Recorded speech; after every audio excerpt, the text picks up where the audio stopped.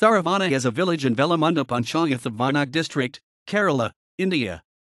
The place is a junction connecting the Vythiri Tharuvana road to State Highway 54 running between Kuttiady and Mananthavady.